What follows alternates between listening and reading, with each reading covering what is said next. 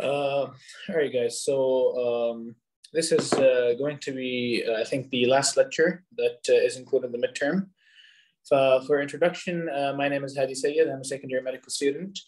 Uh, inshallah, I'll, I'll be giving you this session on the integration of the cardiovascular system. Um, so this session is recorded because there was some sort of a problem in the um, the scheduling uh, صراحة I'm not sure what it was but يعني either ways it couldn't be live so we had to record it so before we start I would just like to uh, I would just, just like to mention how I organized the slides so basically what I did was I took uh, Dr. Simon's slides and uh, he had the notes at the um, at the bottom of each slide. So I simplified those notes into basic points for the slides, and uh, so inshallah, when you guys read the the uh, the original slides, you guys can maybe have a better understanding. Okay, so uh, let's start. Um, okay, the first half of this lecture is going to be talking about um, orthostasis, uh, orthostasis and uh, orthostatic hypotension. Uh, the whole idea behind this is um, basically when you're when you're lying down and uh, you stand up, right? So when you stand up, the blood in your body, because of gravity, is going to um, it's going to pool in the uh, lower extremities, okay, or in the lower half of your body. Uh, this uh, can be shown, for example, uh, by a by a water bottle. So, uh, this bottle is full, so maybe it's not going to demonstrate this too well, but I think you guys can get the idea. So if you think of this part as the head, and this as the as the lower end of the body or the uh, feet. So when you're lying down, you can see that um, you know the uh, the blood is evenly distributed. But the moment you stand up, you can see that the blood is uh, has pulled towards lower end, leaving the, the upper end uh, empty. So that's the uh, main concept here. I think it's pretty uh, straightforward. Uh, this, if we just go through the slide, when you stand, it pulls in the lower extremities. Uh, why? Because of the gravity and the high venous compliance. I think you guys already know that venous veins are called, are the compliance vessels where they have very high compliance. Uh, so this basically means that uh, they can store a large amount of blood uh, in them. So when the blood goes, they just uh, stretch in order to you know accept that blood. So because there's high venous compliance, uh, when the blood goes down due to gravity, it's gonna stay there because the veins can accommodate that amount of blood. Okay, so this will lead to a reduction in venous return because obviously when you have you know the blood is staying at the lower ends of the of the body uh, less blood is going to be coming back up to the heart. When you have reduction in venous return, you're going to have a reduction in cardiac output because obviously when there is not enough blood coming back into the heart, there won't be enough blood to pump out of the heart. And uh, you're also going to have a mean arterial uh, pressure uh, decrease. So obviously when cardiac output is uh, decreased, the pressure is also going to be decreased. This is self-explanatory. So this is going to initiate the baroreceptor reflex. So just think about baroreceptor reflex. This is the uh, main the, the, main factor that uh, prevents us from uh, fainting when we stand up after lying down. So if we didn't have the baroreceptor reflex, uh, because of reduction all of these parameters, including venous return, cardiac output, the pressure, you will have decreased blood flow to the brain, uh, which means the brain won't get the oxygen that it needs to function, which is going to lead to fainting. So if we don't have this uh, the baroreceptor reflex, uh, or it's impaired, that would um, that would cause uh, fainting. Okay, so just uh, this to be noted, I mean, it's going to be explained further in detail, inshallah, in the coming slides. Okay, so what does the baroreceptor reflex do essentially? It's going to get the heart rate and contractility and the resistance, and it's going to increase those. So it's going to it's going to counteract the uh, the effect of gravity on uh, you know when the blood uh, pools down because of gravity it's going to counteract that uh, that problem uh, which is going to restore all of these things back to normal okay i think it's pretty simple slide uh, طيب, moving on so this is essentially the same thing so you know uh, he's telling you in no when you're lying down this is the arterial pressure and this one is the venous pressure so when you're lying down or in supine position um, pressure in the at the ends of the body, so at the lower end and at the upper end, they're not very different from the heart. So they're somewhat similar, as you can see. Any if the pressure at the heart, arterial pressure at the heart is 100, then uh, any going up or down, it doesn't it doesn't uh, change that much.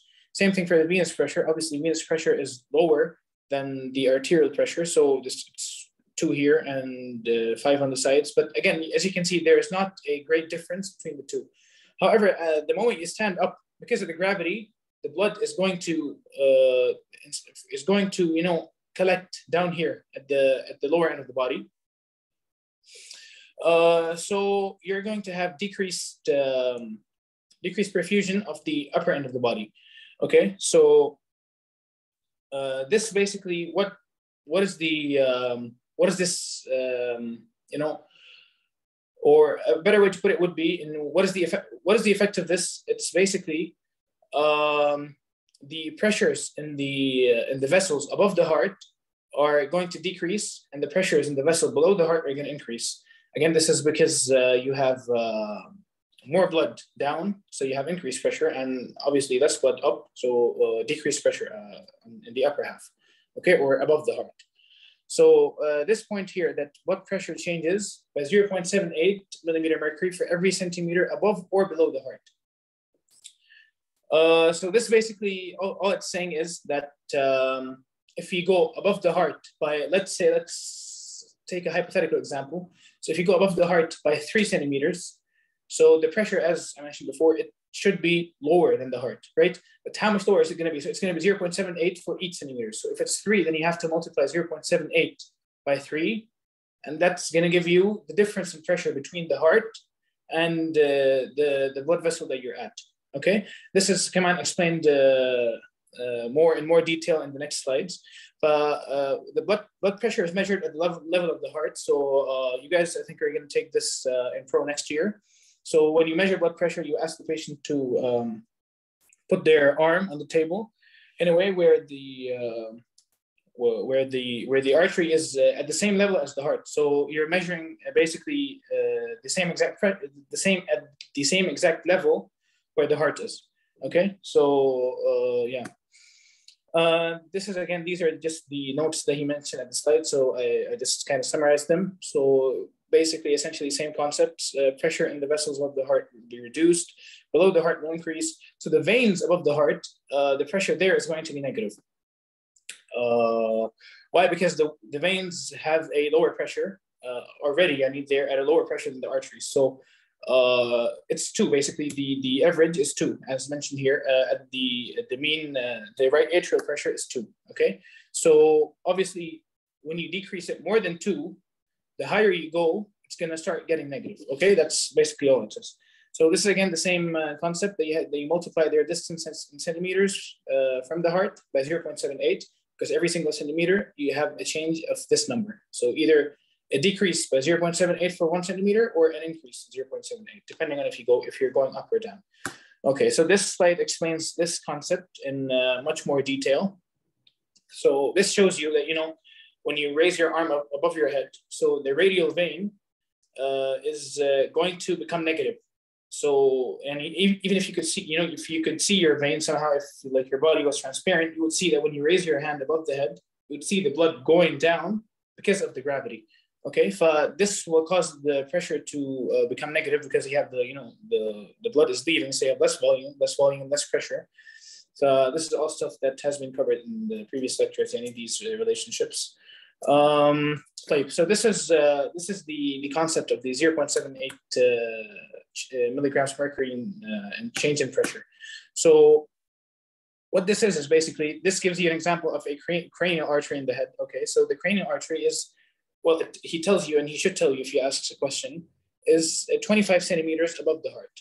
Okay, so you're going to multiply 0.78 times 25 because for every single centimeter, you have an increase or a decrease. Well, in this case, it's a decrease. Why? Because it's above the heart. So for every single centimeter, you have a decrease of 0.78. So you want to see the total, uh, how much the total decrease in pressure. So you multiply 0.78 by 25, and that, that should give you 20. So this is this is not the pressure in the artery. This is the decrease in pressure. Okay. So to get to the pressure of the artery, you have to subtract 20 from 73 uh, from 93. So 93 is the pressure at the level of the heart, okay? So as you go above the heart, the pressure is going to decrease. So by multiplying it by 0.78, you find out by exactly how much is the pressure decreasing, and then you subtract it from 93, which gives you 73, okay? So this is the same concept in the, of a vein in the foot. So uh, the, the foot, the vein in the foot is 103 centimeters below the heart, okay? This is again a value that they've given you. So uh, for that, you multiply 0.78 by uh, 103 to find out the difference between uh, the vein that you're um, currently calculating the pressure of and the heart. Then you're going to add, sorry, sorry. Uh, then you're, uh, sorry, then you're going to uh, add the two, but you're not going to add it to 93 because 93 is the mean arterial pressure. But you're looking at a pressure of a vein. So you're going to have to add it to the right atrial pressure or the pressure of the uh, terminal end of the vena cava, which is uh, they're almost the same. Okay, so you add 80 to the uh, right atrial pressure, which is two, which gives you 82. Again, why are you adding it? Because as you go down, pressure increases. There's an increase in pressure, so you have to add the uh, the pressure for every centimeter that you go down. Okay. So uh, for an artery in the foot, uh, so it's the same thing, 103 centimeters. So you can think that you know they're uh, uh, they're at the same level. So 103 centimeters. Again, you do the same thing for every centimeter. You have you multiply by 0.78, so it's 103. You multiply by 0.78 times 103, it's going to give you 80. This time you add it to 93. Why? Because you're measuring the pressure in the artery. So you're going to have to add it to the mean arterial pressure, not the atrial pressure, because the atrial pressure is the pressure for the veins okay? And the mean arterial pressure is pressure for the arteries. So you have to add uh, the difference in pressure. Uh, the difference in pressure, you can, again, I'm repeating myself, but just to hammer this home, uh, you multiply it by 0.78 for every single centimeter. So uh, you go down 103, uh, that's gonna give you a difference of 80. You add that difference of 80 because this, because you have 80 milligrams mercury increase in pressure from the heart, okay? So uh, I hope that makes sense. Like, uh, this is uh, essentially the same thing, but a few added points that I thought were important that you put in the notes. But the height of an individual will affect the changes in, in blood pressure above or below the heart. So obviously, any if uh, if the person is tall, then this vein or artery at the at the foot is going to be more than 103. It's going to be 107, 110, something like this, you know? So the distance is going to be more. So when you multiply by that by 0.78, you're going to have a greater um, a greater uh, increase or decrease in pressure depending on if you go up or down. And the shorter the person is, it's the exact opposite. And if the person is short, uh, you're going to have decreased distance. Okay, uh, that's all that this point talks about. Blood will pull at the lower end of the body. Uh, so, okay, mechanisms such as muscle contraction and one-way valves oppose this pulling of blood. Okay, so let's just skip ahead to uh, a few slides. So, if you look here, so basically the veins uh, they are uh, located uh, within or between skeletal muscles, okay, or muscle fibers. So when the muscles contract, they're going to push the veins. So you know the veins. If you if you imagine the veins and you muscle and you, and you imagine the muscle pushing against them, uh, the blood will, will you know there's going to be increase in pressure inside, and the blood will want to leave. But then you have another thing called these uh, valves, venous valves. I think, come on, you guys took these in anatomy. But um, just as a quick review, Yanni, so they're one way. So when the muscle contracts over here, they can't go down this way because this valve doesn't open here. So the only way they can go is here. So they're forced to go up, right? So if you go back to this slide, yeah. So uh, these these two mechanisms they oppose the pooling of blood, so they don't allow the blood to pool downstairs, uh, down in the downstairs. They don't allow to pool it in the lower end of the body. Okay, so if if these mechanisms, the muscle contraction or the one-way valve, if they're compromised or they have some sort of a defect, it could lead to edema because you'll have, you know, the blood is going to stay down. For example, if the valves are not working, then there will be no one-way flow of the blood. So it's going to stay down uh, in the veins, which uh, will lead to edema. All right. Like, so this is a, um, uh, I think this was also uh, mentioned in a previous lecture, but we will go over this very quickly in context to this lecture. So uh, talking about baroreceptors. One thing that uh, I would like to clarify is, um, it's come on, coming up in the next slide, but uh, the main baroreceptors that you have are in the carotid sinus. So right, uh, you know, right when the uh, carotid artery bifurcates, that's where you have them, as well as the aortic arch. So these two places are um, you know, they have an abundance of uh, baroreceptors. So what happens when the discharges decrease? Also, before we go further, I would like to just uh, clarify a small concept. Uh, so baroreceptors, when you stretch them, their uh, firing is going to uh, increase. So they're going to send uh, increased uh, signals or increased action potentials, whichever way you want to think of it, to the brain, or more, if you want to be precise, to the nucleus tractus solitarius. Okay, so that's when you stretch them. So when do they get stretched? When you have you know increased pressure. So increased pressure, increased blood. It's going to stretch them. That's going to increase their discharge. So when you don't have that increased pressure, when the pressure is low, you're going to have a decreased discharge. So they're going to send less action potentials or less signals to the brain or to the nervous system. Okay. So when they send less signals, that's going to be processed here by the uh, nucleus tractus solitarius, which is uh, it's the center for uh, processing uh, cardiovascular signals. Okay. So what that is going to do is that is going to inhibit. So you can see there's two minus signs here. It's going to inhibit this over here is the uh, cardio inhibitory center or the parasympathetic center. Okay. This is the sympathetic center. So the minus sign here does not indicate uh, inhibition of the of the sympathetic. It means it's inhibiting uh, glutamate, GLU, and GABA. So glutamate and GABA, um, you don't need to know this, but just to, um, I don't think you need to know this at least, but just to uh, tie it in with the concept. These are uh, uh, neurotransmitters which inhibit uh, neurons. They're inhibit, basically they have, a, they have, a, they have an inhibitory effect, okay? So when you inhibit the inhibitory neurotransmitters, you're going to activate the thing that they're inhibiting, which in case this in this case here is the sympathetic nervous system. Okay, so you remove the inhibition of the sympathetic nervous system, so you're going to have increase in sympathetic signaling, which is going to you know go to the heart, go to the blood vessels, which is going to increase contractility, going to increase um, uh, heart rate, going to increase uh, resistance in the vessels, uh, etc. Okay. At the same time, decreasing uh, the, the, NTS is going to uh, decrease parasympathetic activity so that the you know sympathetic activity is uh, unopposed. Okay. So here, this is the same thing. stretching of baroreceptors cause them to increase signals, increase pressure, so they stretch. When you don't stretch because of low pressure, you'll have decreased signals. So the NTS processes the signals and it's going to determine whether uh, you know the body should uh, increase or decrease the blood pressure. If it's elevated, it will want to decrease it by you know reducing heart rate and contractility, and if it's uh, decreased, then the body will want to increase it. Uh, you get the point. So. Uh, so uh, almost every every single artery or every main artery in the in the thoracic or or in the upper body, you can say basically, mostly the thoracic region, um, have you know um, a few baroreceptors, uh, you know, in, in the walls of the arteries. But uh, the main or the, the main area where you have baroreceptors, there's the, those are the two here. So the carotid sinus and the aortic arch.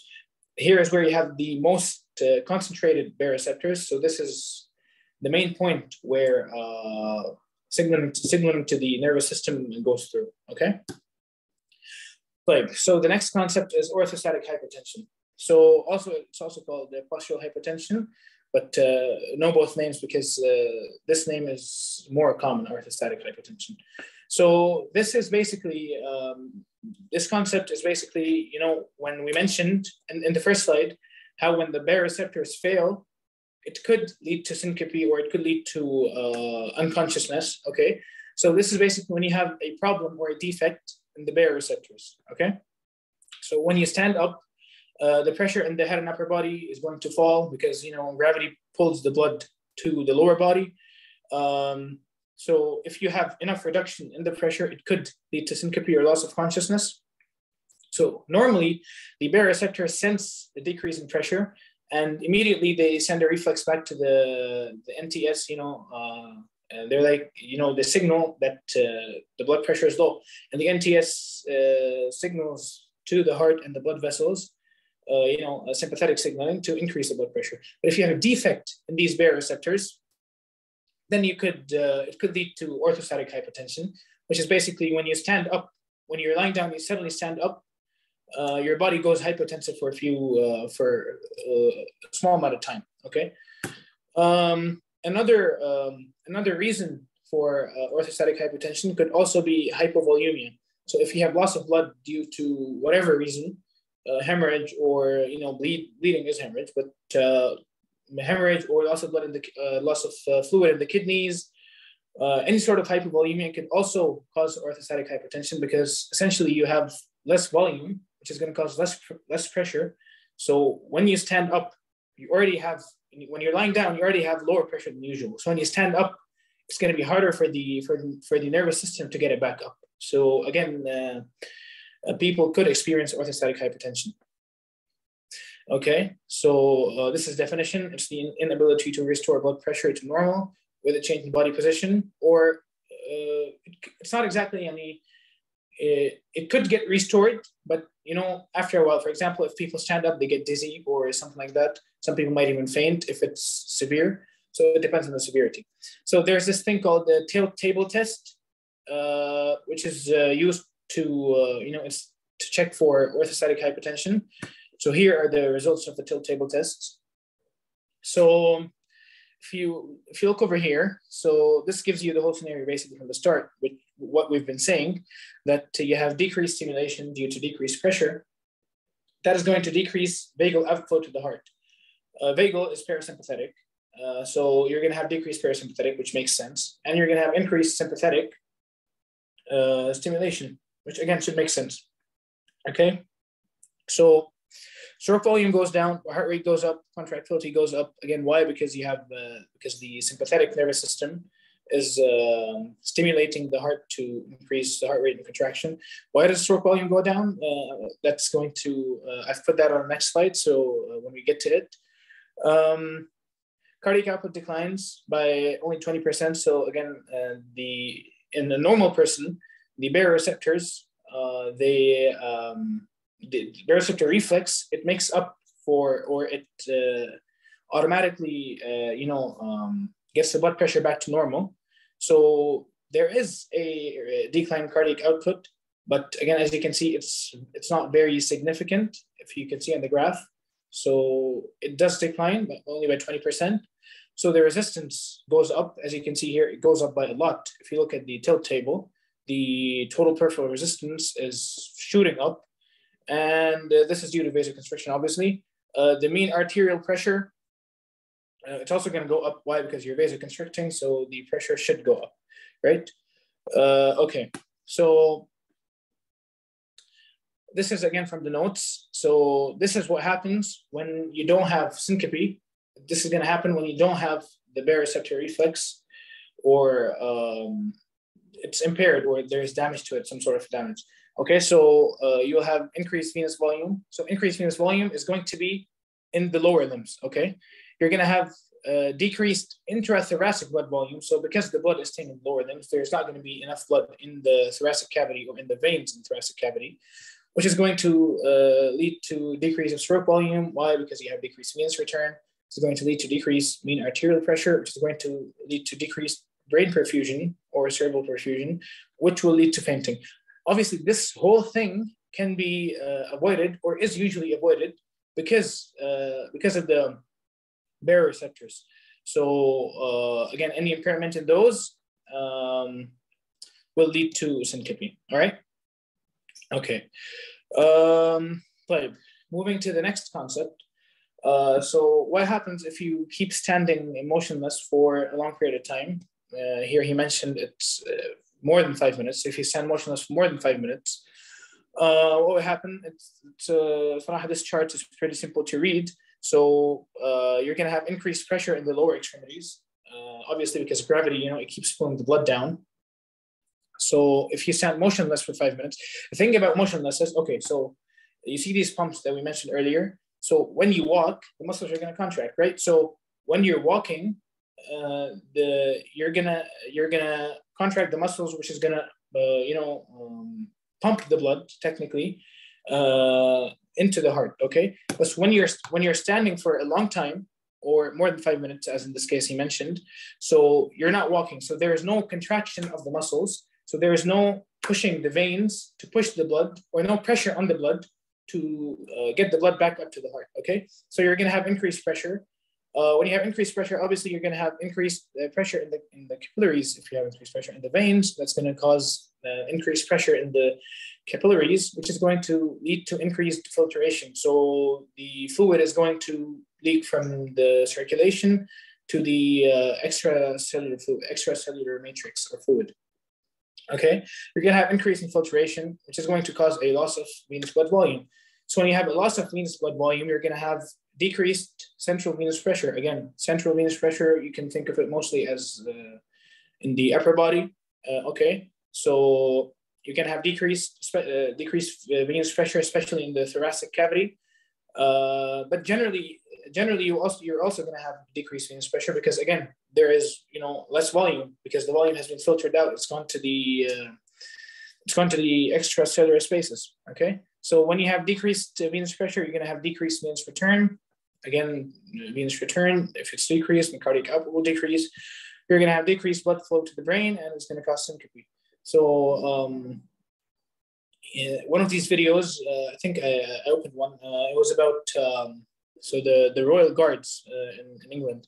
So uh, you know because they keep standing for a very long time, so some of them you know they uh, faint because because of this uh, because of this um, phenomenon because they are not walking, so there's no contraction of the muscles, and the blood doesn't uh, go back up to the heart. Okay, so this thing we've already explained before. When you you know when the muscles contract, when you're walking, running, etc., they contract, they push the veins, blood goes up to the heart. It can't go down because of the valves. The valves only open one way, so it goes. It only goes up in one direction. Okay. Uh, all right.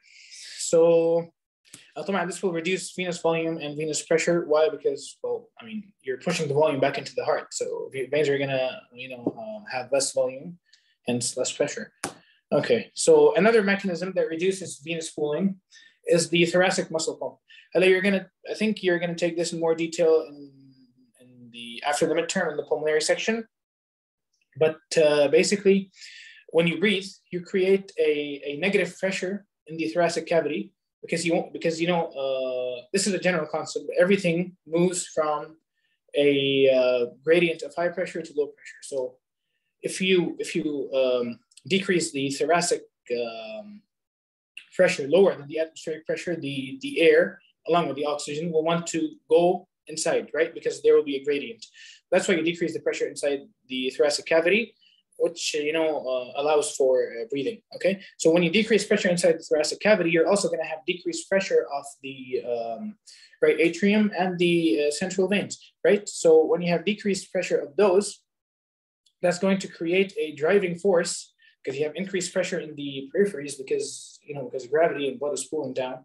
So uh, blood again is going to move from an from an area of high pressure, which is in the lower body, to an area of uh, low pressure, which is in the thoracic cavity, because uh, you know when you inhale, it's uh, it causes uh, it creates a, uh, a, negative pressure in the thoracic cavity. So uh, that inhalation causes negative pressure, which is another mechanism, which is another mechanism that reduces venous pooling in the lower extremities. So uh, I think these are the these are the main mechanisms, but uh, this is also uh, important for you guys to know. Um, طبعا uh, any problem with especially with these mechanisms will will cause edema, okay, or it could cause edema. Um, right. So طبعا when you increase pressure, you have increased uh, blood coming back up because you know it goes from high pressure to low pressure. It goes back. It goes into the heart. That increases venous return. That's going to increase cardiac output and you know bring uh, everything back to normal. Okay. This is a concept map. It's, I think, everything that we discussed so far. Uh, I think it's pretty straightforward. We'll just go through it pretty quickly. So uh, when you stand up from a supine position or from laying down, because of gravity, you have the blood pooling in the legs. That's going to cause uh, decreased uh, venous volume and decreased pressure. That's going to decrease venous return and decrease cardiac output and decrease arterial pressure. The decrease in the pressure is going to be sensed by the baroreceptors. Baroreceptors are going to go to the um, NTS and uh, nucleus tractus solitarius. And uh, they are going to increase sympathetic and decrease parasympathetic. The same exact thing we talked about in, in this slide. Okay. Um, Uh, sympathetic obviously is going to increase the contractility, heart rate, stroke volume, resistance. All of those combined are going to reduce, increase the cardiac output. Cardiac output it increases, it's going to go back and uh, you know uh, get the blood pressure back to normal. Uh, I think that's pretty simple. Okay, one more mechanism that um, you know compensates for decreased uh, blood pressure is the renal compensation. So your kidneys, um, because blood flow to the kidneys, when you have decreased pressure, uh, the flow to the kidneys is also going to, you know, the arterioles and that lead to the kidneys will also have decreased pressure. So the kidneys will sense this and uh, they're going to activate the RAS system, renin angiotensin uh, aldosterone system. I think you guys took this in detail in uh, earlier lectures.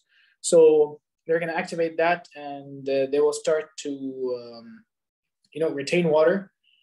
Um, so you increase the water in the body, um, and that's going to increase the, the blood volume, uh, which is going to uh, lead to, you know, which is going to bring the blood pressure back to normal. Uh, like the difference between uh, renal compensation and um, increasing the, the sympathetic stimulation is that uh, renal compensation is a, a long-term uh, effect. So the, the immediate effect is of when you have hypovolemia or or decreased blood pressure due to any reason, not necessarily hypovolemia. When you have decreased blood pressure, the immediate effect is the uh, sympathetic stimulation, okay, and decreased parasympathetic stimulation. Over long term, uh, renal uh, compensation also uh, plays a role, okay? So again, this is the same thing uh, everything that we discussed. Uh, you know, I have increased pressure in lower extremities and uh, in the arteries and veins. Uh, that's going to cause decrease in central venous pressure because there's a shift from central to peripheral uh, circulation in the blood volume. So blood volume shifts from um, uh, central or the, the bulk of the blood shifts from the central circulation to the peripheral circulation. Um, uh, this is going to lead to decreased uh, venous return. Uh, oh, sorry, it's to decreased uh, venous central venous pressure, which will lead to eventually to decreased uh, venous return, lead to decreased stroke volume, which will lead to decreased cardiac output. Everything we decreased, decreased firing of baroreceptors. that's going to you know go tell the brain that you know blood pressure is low. Brain's going to go tell the heart and the um, and the blood vessels uh, to constrict and the heart to contract, increase heart rate. Um, sympathetic activity will also go to the kidneys. Uh, again, it's more, uh, it's also sympathetic as well as the um, uh, kidneys themselves. They they sense the uh, the low pressure of the blood, but it it's, it's termed under uh, sympathetic activity. Okay, so this is a long-term effect, which is the kidney fluid retention and the heart and the and the blood vessel constriction is uh, the immediate effect, okay? All right, so this is uh, part two of this lecture, or the second uh, second half. This, is, this is basically talking about the uh, the effect of exercise on, you know, cardiac output, blood pressure, etc. okay, so intensity of aerobic exercise increases. Obviously, when you increase the intensity of exercise, your muscles will need more oxygen in order to be able to perform this intense exercise. So uh, there's two ways that uh, the muscles are going to get more oxygen. One of them is uh, very obvious, and I think uh, you're going to increase blood flow, to, blood flow to the active muscle. Okay. The other is um, the active muscle extracts more oxygen from the blood uh, this is a concept which uh, which he didn't really explain in the lecture, and I think that this has more to do with something that you will take uh, after the midterm, which is uh, the association and dissociation of oxygen from hemoglobin. Maybe you took it in Molbus, I'm not sure. So, uh, uh, the um, the binding or the binding strength of oxygen or the affinity of oxygen to hemoglobin and uh, you know how it changes throughout. It's going to be ex- uh, explained in more detail in, in the pulmonary section. Uh, the main focus, uh, he, he mainly focused on the first point for the rest of the lecture, so that's what we're going to do. So blood flow increases, obviously how? By increasing the cardiac output through, sim- through stimulation of the sympathetic nervous system. And um, another thing is that uh, vasodilation increases in the muscle that's um, that's exercising. So local vasodilation, local means localized to the muscle that's exercising, uh, to the active muscle, or to yeah, active muscle is a better word. So okay, so why does this ha- why does this happen? It's because of the uh, metabolic theory. So the uh, metabolic theory is basically um, when your muscles are going through you know exercise or doing something um, hard work, anything. So they're using or consuming more oxygen than usual. When you consume more oxygen and at a faster rate than usual, uh, this is going to, you know, the result of this will be waste products, which will also be at a fast, which will also be produced at a faster rate. Okay. So these waste products like carbon dioxide and, uh, and you know other metabolites, they will act on the on the local um, blood vessels to cause vasodilation, so that uh, blood can you know come in, uh, more blood can come in, bringing in more oxygen, more nutrients, and more blood can leave, taking you know taking out more carbon dioxide and other uh, waste products. Okay.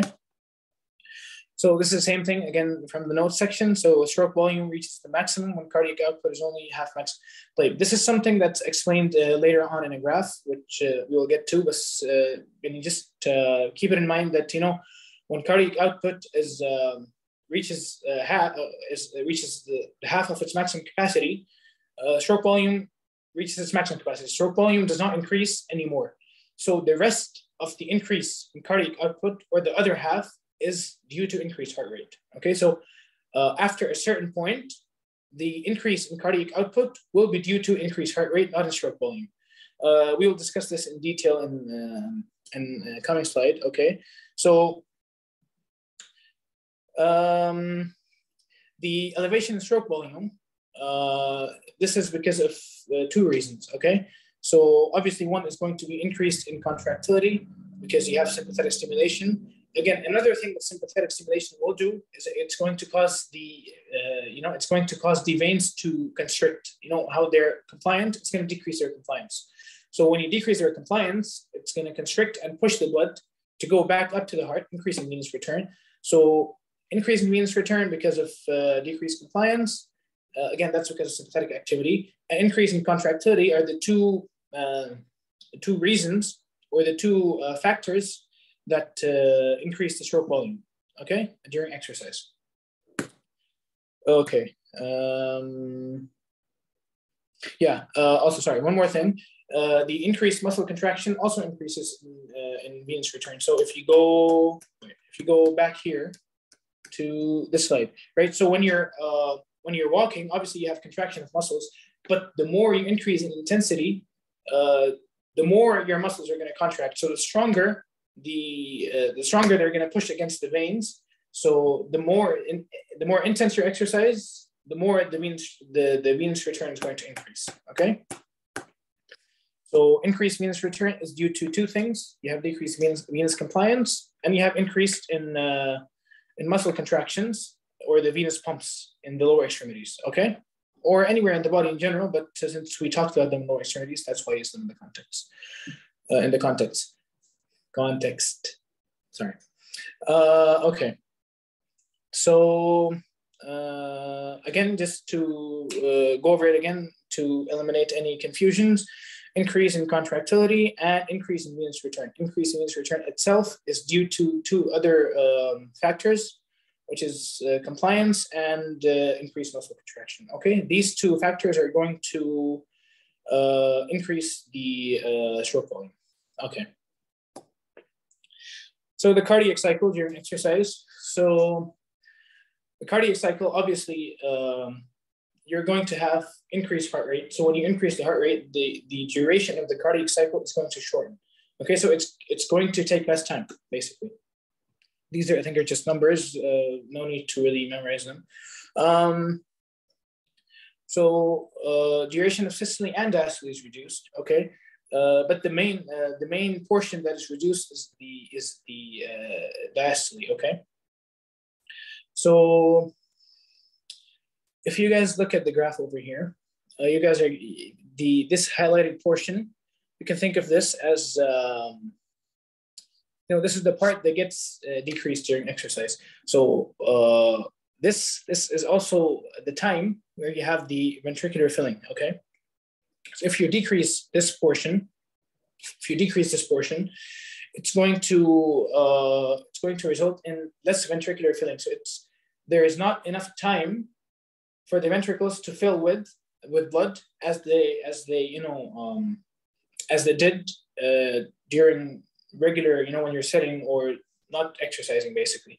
So the um, the ventricular filling will be shortened. The time for ventricular filling will be shortened.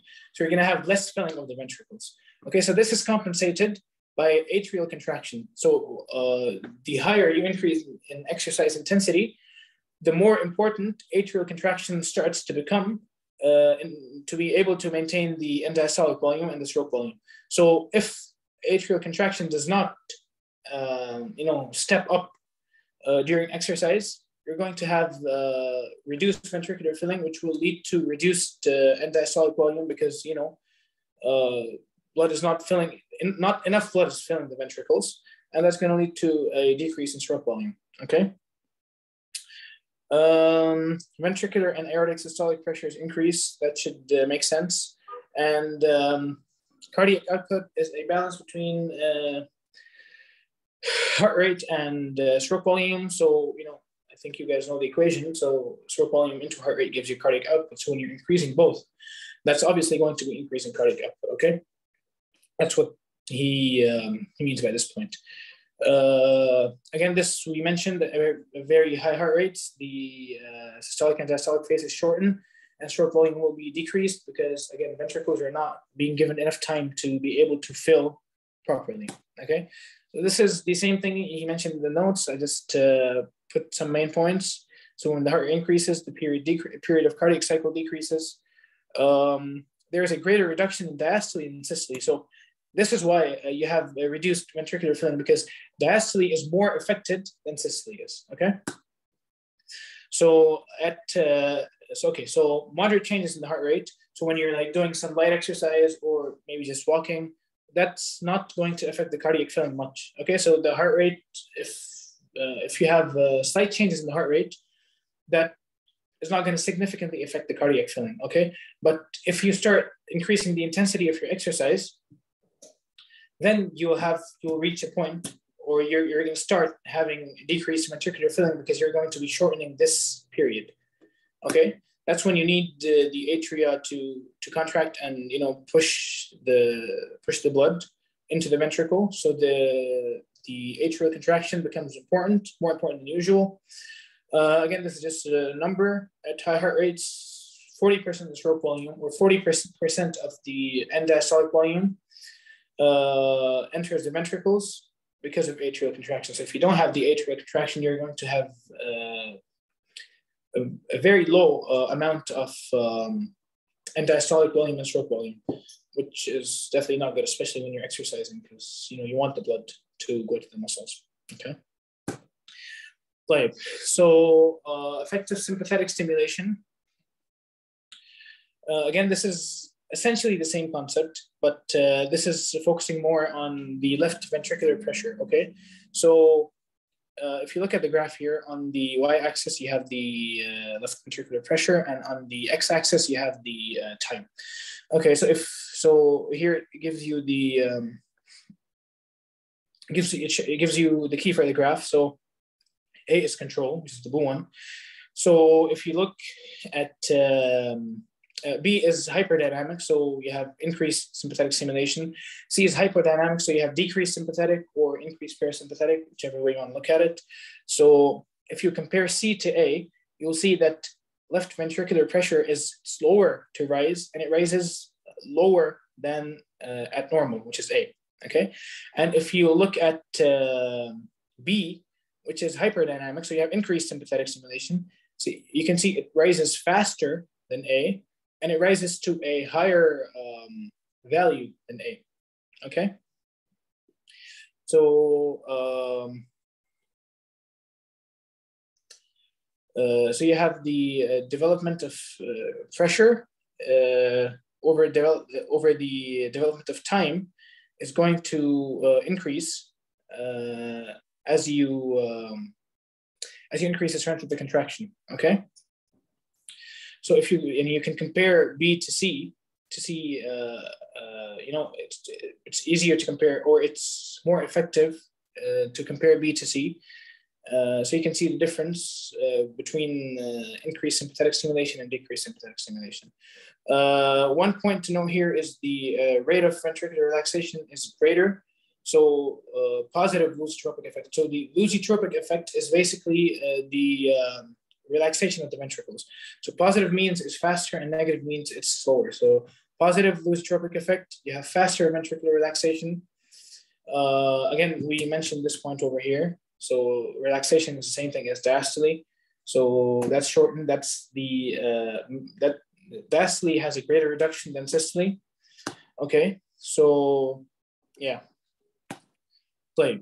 Uh, this was the graph that I mentioned earlier, and I told you that uh, you know when you reach uh, half or half of the maximum potential that the heart rate can go, or that the cardiac output can go, uh, stroke volume is already maxed out. Okay, so if you look at this graph over here, um, on this side you have the stroke volume, on this side you have the heart rate, and x-axis is showing you the cardiac output. Okay, so if you um, look at the stroke volume, it starts to increase, okay? But then over here, it, uh, you know, it stops increasing. So at around, uh, let's say 13 maybe here. So at 13, when cardiac output reaches 13 liters per minute, stroke volume is going to uh, stop increasing. But heart rate, uh, cardiac output can still go up to all these, you know, can go to this level, right? So the major factor that will allow the cardiac output to go higher than this point where the stroke volume uh, stops increasing is the heart rate. Okay, so after a certain point, the the heart rate will be the the main thing that uh, or the main factor that allows the cardiac output to increase. Okay, so the elevation in stroke volume. This uh, comes from again uh, we mentioned this earlier. This is uh, because of increased venous return uh, causes increased preload. So you have, you know, when you have increased preload, you're going to have increased stroke, uh, you're, you're to increase stroke volume. Okay. Uh, you're going to have increased contractility, um, which is caused by the sympathetic nervous system, causes reduced end systolic volumes. So you're pushing more blood out of the heart than usual. Okay. Or, or out of the ventricle than usual. The elevation in heart rate comes from uh, increase sympathetic and decreased parasympathetic. We've mentioned that before.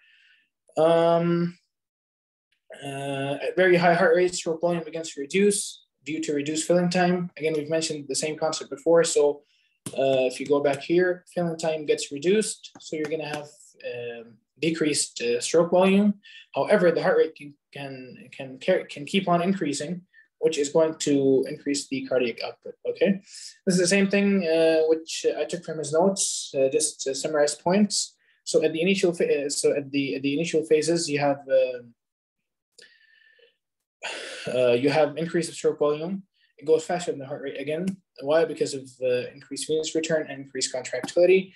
However, it reaches a peak, and then uh, it's the heart rate that continues to you know uh, increase. So cardiac output higher than uh, a certain certain amount. Uh, I think he mentioned 15 in the notes. Uh, so higher than a certain amount is achieved mainly by increasing the heart rate and not the stroke volume because the stroke volume has maxed out. Okay, it can't go anymore. Why is that? Because uh, the time for ventricular filling is too short. Okay.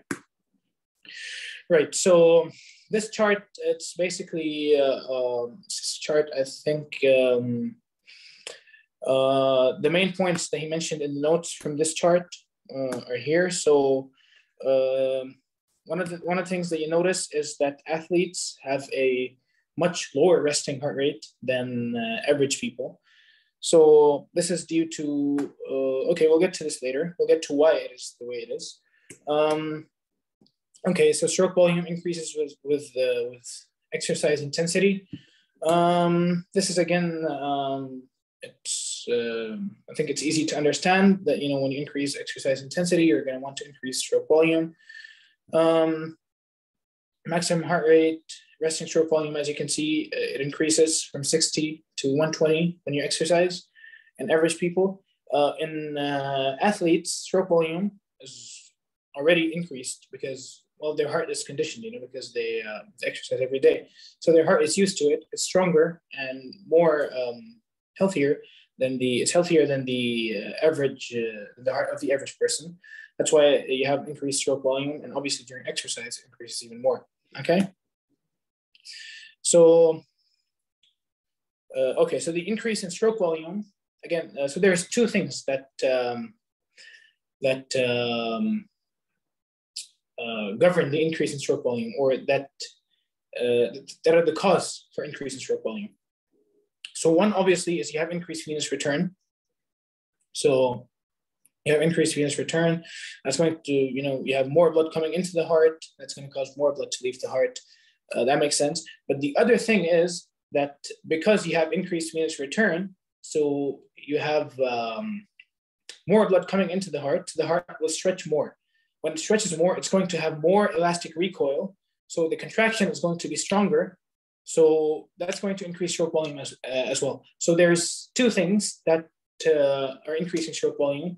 One is uh, in, uh, one is increased venous return, okay, and the other is the increased elastic recoil due to the increased venous return. So both these things are going to be um, are going to uh, cause um, increase in stroke volume.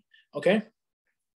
So uh, cardiac output, obviously, when you're increasing stroke volume and heart rate, so well, when you multiply those, that gives you the cardiac output. So when both are getting increased, and then you multiply them, that's going to increase the cardiac output.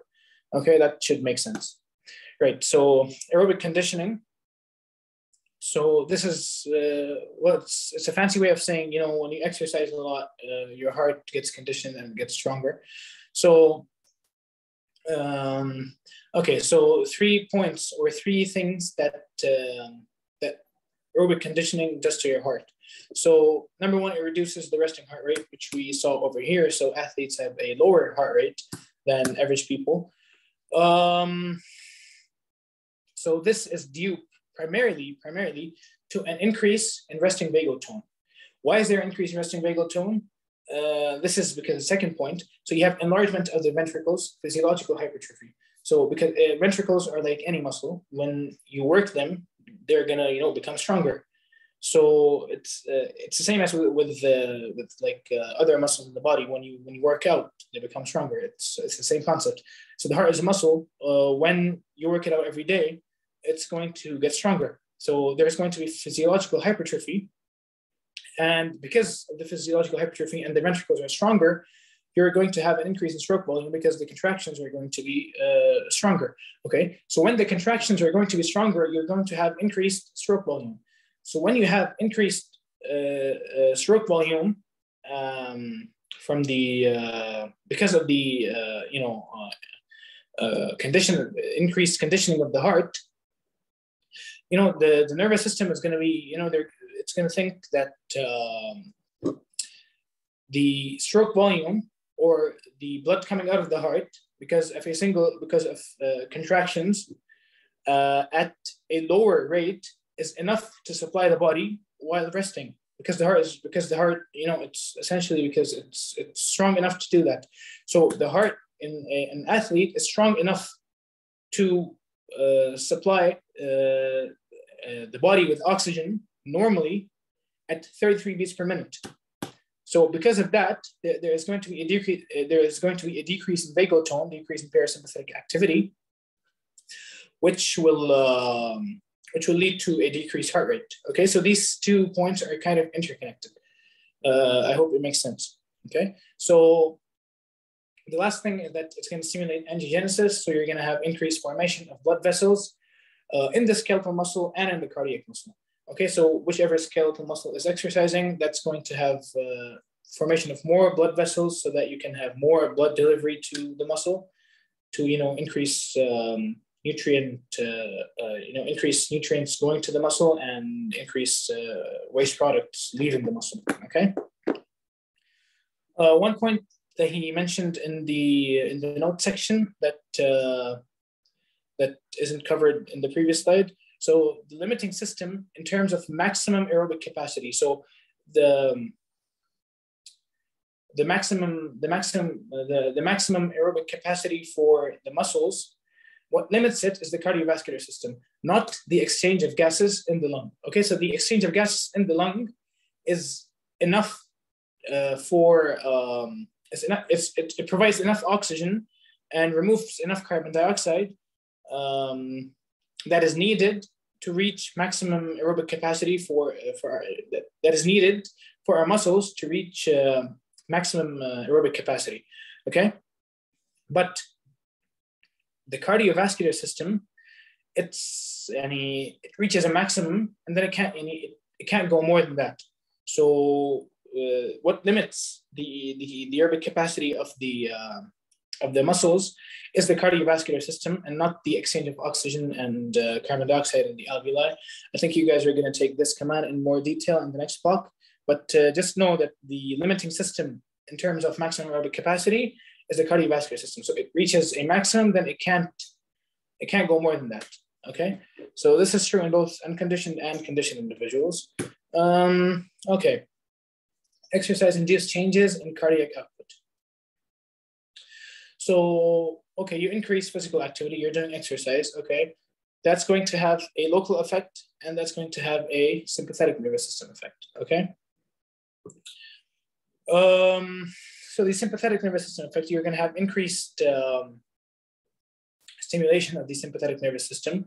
That is going to increase cardiac output and uh, constriction of the vessels, uh, increased cardiac output will lead to increased uh, arterial pressure, increased systemic vasoconstriction will lead to increased uh, resistance. Okay, so um, the local effect is going to be, uh, again, it's the metabolite effect. So the carbon dioxide and the waste products and other metabolites that the muscle releases, the, the exercising muscle releases as waste, um, they are going to um, they're going to sorry they're going to affect the um, the vessels in the local or in the active muscle, uh, and they're going to cause them to vasodilate.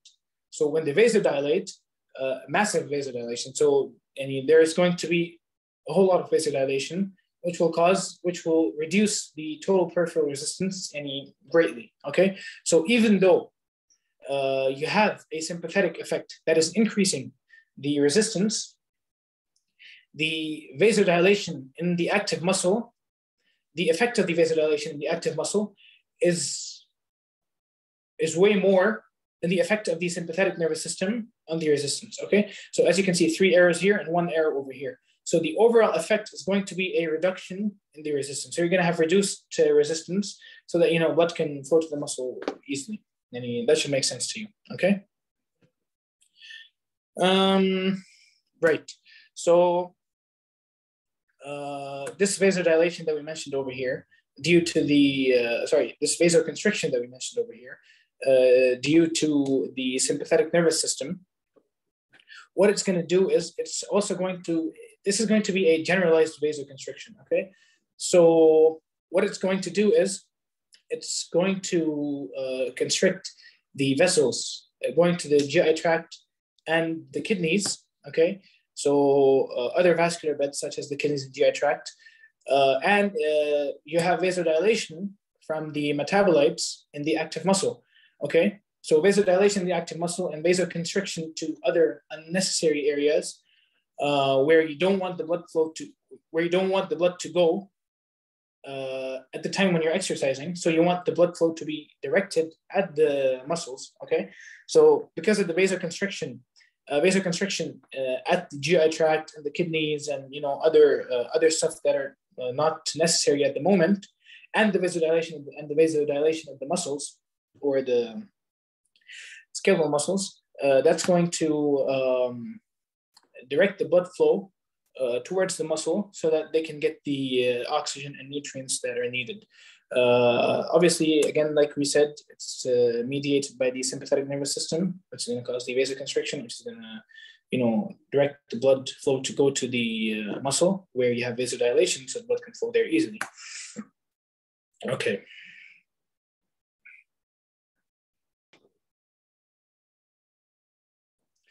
All right. So um, uh, because uh, so basically a, a, large portion of well in, when you're not exercising in, in a normal state um, the uh, the uh, most of the arterial resistance is in the skeletal muscle. So when you have vasodilation there during exercise, that is going to uh, mostly compensate for the elevation in cardiac output, which we see over here due to the sympathetic nervous system.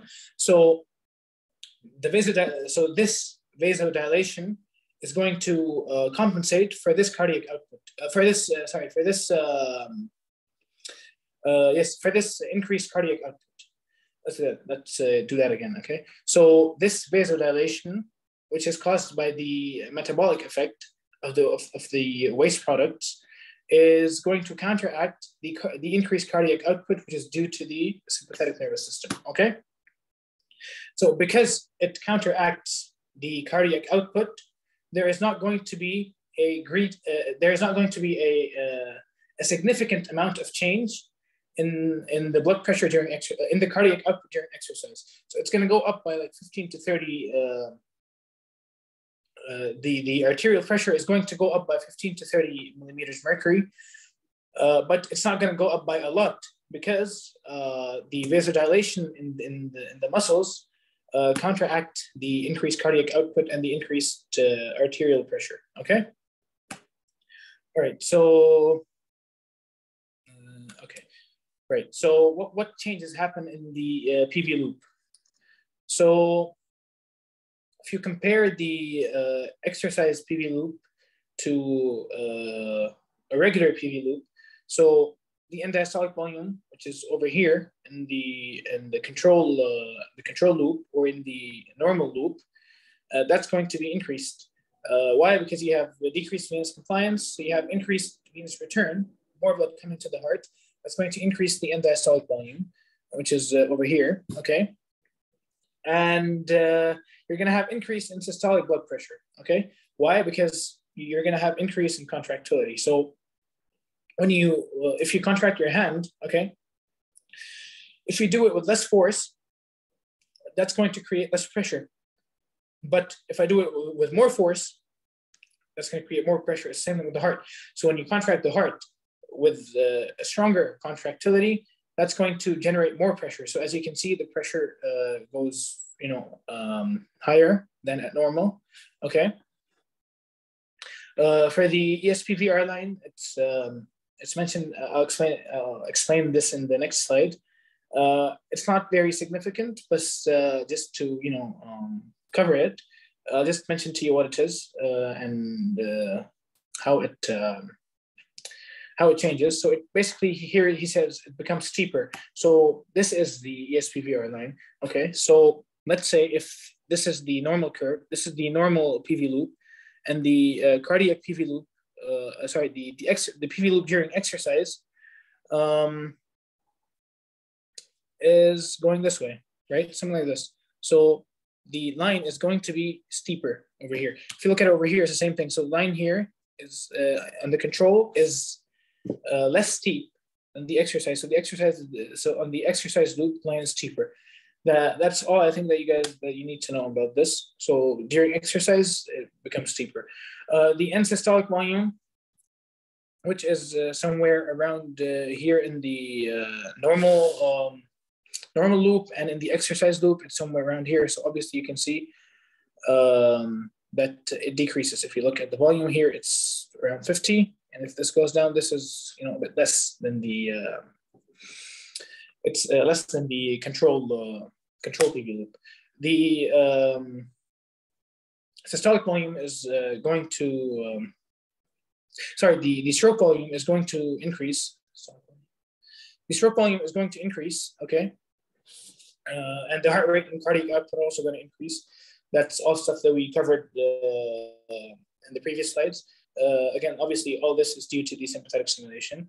Like the stroke work, which is the area of the PV loop, uh, so the whole area is basically going to be increased. Okay, so um, again, you're going to have uh, increased end diastolic volume. You're going to have increased uh, uh, systolic blood pressure. So when the ventricle is contracting, you're going to have increased pressure. Um, you're going to have have decreased end systolic volume because uh, why? Because uh, you know you're you're pushing more blood out of the ventricle because of the increased contractility.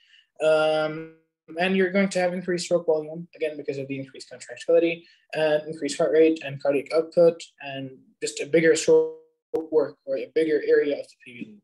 Okay, all right. So we mentioned this. Okay, so we mentioned uh, here that um, the uh, mean arterial pressure it increases, but only by 15 to 30 uh, millimeters during exercise. Why was this again? It was because the vasoconstriction, uh, sorry, the vasodilation in the, in the active muscle uh, counteracts the increased cardiac output and the increased mean arterial pressure. Okay. But however, there is a slight increase in the mean arterial pressure. So why is this not counteracted by the uh, baroreceptor reflex that we mentioned uh, earlier? Well, I mean, um, this is because um,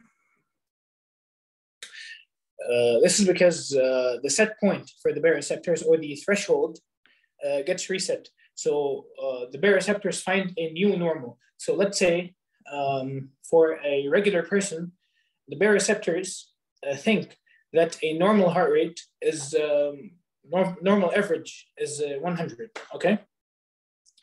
So during exercise, that is going to get reset to let's say 110 or 120 or you know th- these are just random numbers but yani, you get the idea so that's going to it's going to think that the new normal during exercise is 110 so 110 will be normal for the baroreceptors so they're not going to there's not going to be a change in their firing or in, in their sending signals to the uh, nervous system okay play um, right so uh, where were we? Okay, yeah. So this uh, resetting, this happens in two, uh, in two, um, two situations, or the two that he mentioned. This can happen in exercise and in chronic hypertension. Okay. So um, during chronic hypertension, it's going to be the same thing, but this is going to be pathological. So the uh, baroreceptors are, are going to be set at a new normal, which is higher than the average or which is higher than the regular normal for like you know usual people. Uh, but it's not going to be reversible because exercise. The, once you finish the exercise, the baroreceptors come back down to normal. Okay, so if this the, this uh, dotted line is the exercise line. Okay, so after the exercise, it's going to shift back to the normal line. All right, but during chronic hypertension, uh, it's not going to shift back. So because of a pathology, the baroreceptors are going to the, the baroreceptors are going to stay set uh, at this um, at this uh, set point or at this uh, threshold. Okay. Um, right. So this is the same thing that the previous slide was talking about. So one thing that the control mechanisms discussed previously are effective at controlling uh, pressure changes over short term. So, for example, from supine to standing up, so the baroreceptor reflex is good at controlling um, uh, when you you know when you're lying down and you stand up. It's good at uh, uh, not allowing the blood to pool in the lower extremities. But when you're exercising, that's a that's you know that's a a long-term change. So the pressure is going to stay high for a long time. That's when because the pressure is staying high for a long time, it's going to reset. Okay. The same thing with chronic hypertension. So because the blood pressure is uh, the so the chronic hypertension is the same thing. So you, the like we mentioned here, um, it's going to uh, it's going to be resetted. But again, chronic hypertension is not going to be reversible, while exercise is reversible. Um, okay, so um, this resetting of the baroreceptor reflex is controlled by the by the higher regions of the brain and the afferent nerves from the active muscle. So the muscle that's exercising, it's going to send the afferent signals to the nervous system. You know, it's gonna it's gonna tell them tell the nervous system that you know I'm exercising and uh, you might need to uh, increase the threshold for the baroreceptors. Okay, so that's why the uh, nervous system is going to that's going to go to the higher regions of the brain. It's going to process it. It's going to go back to the baroreceptors and it's going to reset the threshold to a higher level. So the extent of resetting is proportional to the work intensity. Okay, so obviously the the more the, the, the more intense or the more um, the higher intensity of your workout, um, the higher uh, you're going to have the resetting of the baroreceptors. So let's say if this dotted line over here, this is at a light uh, exercise, like say jogging or someone's, uh, you know, doing something or walking for some people. So when you um, when you increase the intensity, when you start running or like start sprinting, uh, the the baroreceptors are going to be reset to a higher level over here. So they're going to be reset to, um, so any, as you increase the intensity, you're, you're, you're going to be increasing the, uh, the threshold or, the, or what the baroreceptors think is the normal pressure, okay? Uh, this allows the mean arterial pressure to, to rise in line with the exercise intensity um, without, evo uh, without uh, evoking a, an, a reflex inhibition of the heart rate. So again, um, because they uh, increase simultaneously, so they go up together. So uh, intensity increases, the uh, the resetting of the baroreceptor increases. So if it didn't, then obviously you would have a you, you would have the baroreceptor reflex, which would go and uh, decrease the heart rate, decrease the um, contractility, and you know the, the muscles wouldn't be able to get the nutrients that they need. Okay, so this is a concept map at the end. Uh, I think these these all these concepts uh, uh, have been mentioned before in the previous slide. Um, so when you begin exercising, you have a local response in the active muscle and you have the nervous system response. So nervous system response obviously going to decrease the parasympathetic nervous system. Uh, the parasympathetic nervous system um, stimulation and increase the sympathetic stimulation. Uh, sympathetic stimulation is going to um, increase the contractility, it's going to increase the heart rate, it's going to increase the uh, venous compliance, the arteriolar resistance. Uh, so all of that together is going to, you know, uh, lead to an increase in cardiac output. Uh, also, the local response, you're going to have increased muscle activity. That's going to increase metabolite and waste product and waste production. Uh, again, the same metabolic theory. It's going to cause local. It's going to cause local vasodilation. That's going to cause increased resistance. When you have increased, uh, decreased resistance, when you have increased resistance due to the sympathetic nervous system, but because you have a huge amount of vasodilation in the active muscle, that's going to more than compensate for the increased resistance due to the um, sympathetic stimulation, and the overall effect is going to be decreased uh, total peripheral resistance. Okay. طبعا increasing uh, increasing uh, the dilation um, will cause uh, which will cause decreased res resistance will also increase the blood flow to the muscle so it can take in more oxygen it can bring in more oxygen and take out the uh, waste product um, okay so these are the notes that he mentioned in the that he put in the concept map slide um, uh, I think one thing that he mentioned was the alpha 1 receptors are located on the blood vessels, on the veins and, and arteries. So sympathetic stimulation is going to, um, that's going to cause um, uh, catecholamines like epinephrine, norepinephrine to bind to alpha 1. And it's going to cause, uh, you know, it's going to cause them to constrict venous compliance, going to cause increased venous return, increased preload, uh, when you constrict the, the arterioles, that's going to cause increased resistance, uh, etc. Uh, the M1 and B1 receptors are on the heart. I think that's all you need to know about those. They're in the heart and they, um, sorry, the M2 and B1. So the M2 is on the heart and uh, it's a parasympathetic receptor and um, B1 is uh, also on the heart, but it's sympathetic. I think that's all you need to know. No need to go into more detail Uh, he didn't mention them in the, in the notes, but he did mention the alpha one adrenergic receptors. So just uh, I think just know that you know those are located on the blood vessels and they uh, cause constriction when you have a sympathetic stimulation. Uh, okay, so a couple of questions. So you guys can pause the pause the video and uh, read and try to answer it. Okay. Uh, طيب. so the answer is B. Yani, I hope you guys got it. Yani. If you didn't, then uh, yani, think of it this way. So when you're, uh, the medical student is uh, constricting the carotid artery, okay? And we mentioned that the baroreceptors are located at the bifurcation of the carotid. So when you uh, constrict it before the bifurcation, you're going to have decrease of blood flow uh, to the baroreceptors. So they're going to sense a lower blood pressure. Okay. So which is why you're going to have uh, increased sympathetic activity because you know the baroreceptor sense lower pressure, and you're going to have a decrease in renal flow. Why would you have a decrease in renal flow? Well, because um, uh, the sympathetic activity is going to cause the uh, arterioles to constrict. So when they constrict, uh, the, the arterioles leading to the, the kidneys are also going to be constricted. That's going to cause decreased uh, renal blood flow.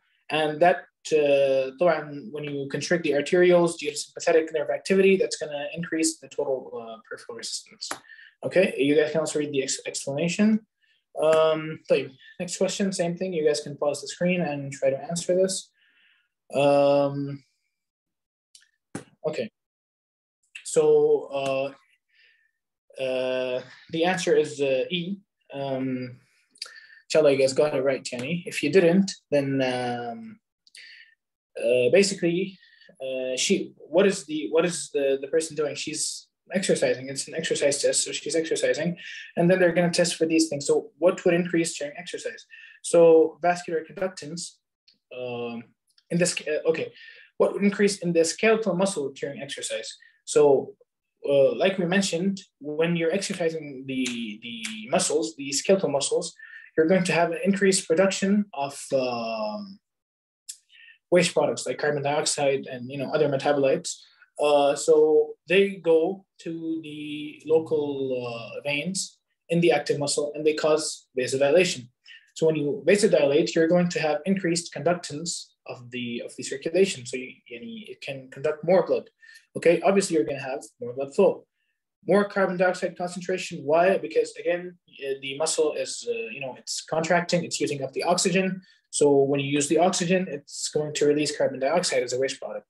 Uh, arterial diameter, uh, arter- arteriolar diameter, it's because of, um, yeah, it's because of the, of the vasoconstriction. Uh, so again, all of these things are increasing. So the the, the obvious answer is, is, is E, all of the above. Again, you guys can read the explanation. It should make sense to you. Okay, um, that's it for this lecture. Um, uh, I think the, the midterm is in two days. I think one day, come on. So it's after tomorrow. Um, inshallah, it goes well, Yani. I hope it's going to be easy. And uh, you guys, I hope you guys, you know, um, you, you, all get uh, good grades and uh, inshallah be more motivated for the for the final inshallah. If you guys have any questions you guys can email me or text me and inshallah i'll answer them as best i can okay? Uh, thank you very much and uh, good luck